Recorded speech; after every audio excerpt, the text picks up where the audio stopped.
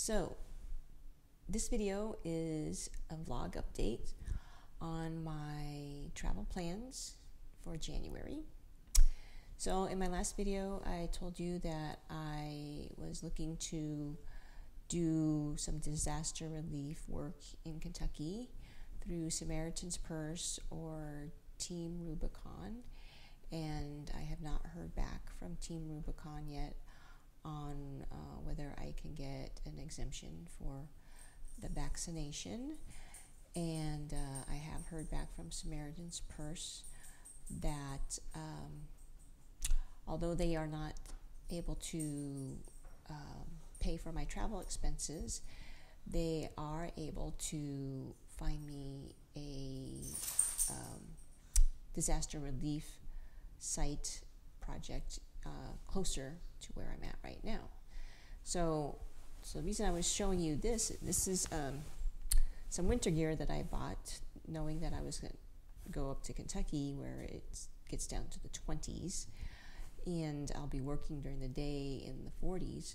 So I got some um, some winter gear. So I got this jacket, uh, which is very nice and insulated, and I got this at the thrift store for only $6.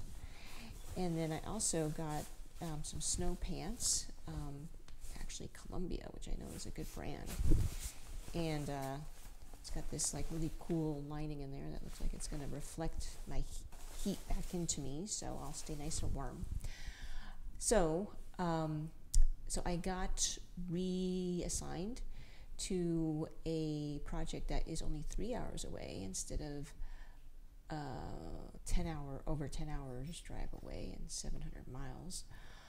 So so i'm thankful to god for uh, giving me that opportunity.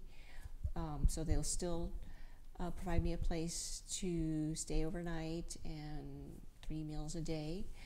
And i just need to find a dog sitter for my dogs so I'm hoping I can find something that's like within 30 minutes of where I'm going to be at. So just in case there's something wrong with the dogs or I just want to go visit them, then uh, it's not that too far for me to, to go.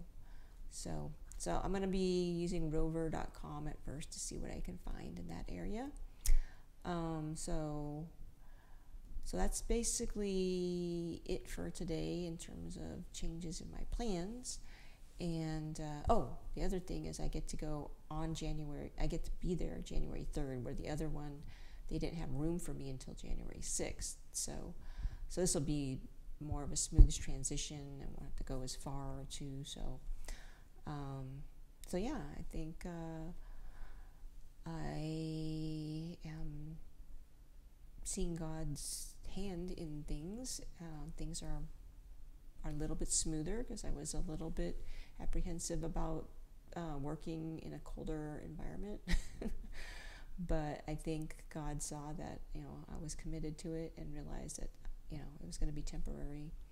And I can always use this winter gear here because it does get down to the 30s and 40s um, some days, not every day, but and when I go back to uh, the organic farms, um, you know, there's going to be days where it gets down to the 30s and hopefully not 20s, but you just never know. You know, they did have a cold snap in the south um, where it never like froze in the last hundred years or something like that. So anyway, so that's for that's it for me for now. So uh, please uh, comment on your questions and suggestions, and if there's anything that I can pray for for you, please let me know. Or um, you can go to my website bit.ly slash aloha Jedi, and there you can uh, submit your prayer request in private and honestly if you want. And I can make a video if you want it to be public and have um, as many people as possible pray for you. So, so have a blessed evening, and I will talk to you tomorrow.